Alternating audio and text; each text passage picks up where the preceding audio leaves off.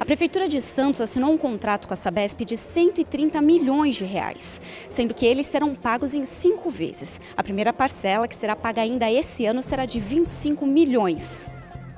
O acordo foi assinado pelo governador Geraldo Alckmin, representantes da Sabesp e a Prefeitura de Santos em evento solene no Palácio dos Bandeirantes, na última terça-feira.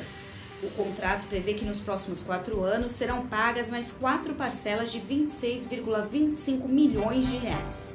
Esse recurso será destinado para obras de macrodrenagem na Zona Noroeste, no programa Santos Novos Tempos e outras obras de infraestrutura prioritárias. Esse recurso será aplicado pelo município. A Sabesp se compromete com um plano de obras e investimento de mais de meio bilhão de reais, além dos 130 milhões de reais que o município vai receber.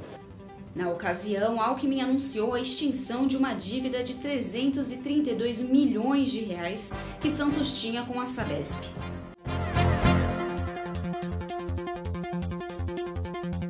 Eu diria que é um contrato inovador, é essa responsabilidade recíproca e a prefeitura foi bastante atendida, porque ela fica adimplente, não vai precisar pagar a dívida, daqui para frente não acumulará dívida garante um investimento de 450 milhões de reais e participará com um percentual do faturamento da Sabesp no município.